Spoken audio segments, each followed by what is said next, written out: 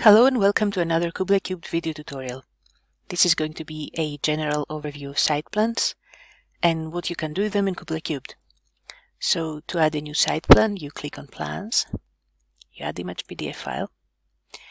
You then need to choose the image or PDF that you want to upload. Now, if you choose a multiple page PDF, you will also be prompted for which page you want to load. But in this case, there's only one page. Once you've chosen the file to load, you will see this bar on the side with options to define the site plan. These controls are used to define the position and scale of the site plan. These are used to crop out areas of the site plan you don't need to see anymore, such as title bars.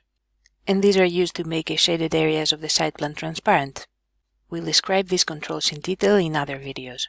When we're editing site plans, we can see the other project content behind it.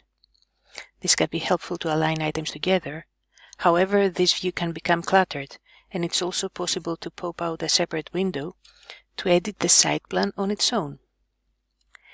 All the controls are the same in this view, and you can pop out the controls back in by pressing this button here. Once you have finished editing the site plan, you can click OK, and the site plan will appear in the main window.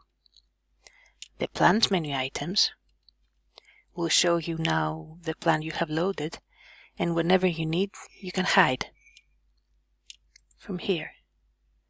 You can edit, delete, and hide and unhide. Now, as many site plans as you load, you will see them in this list.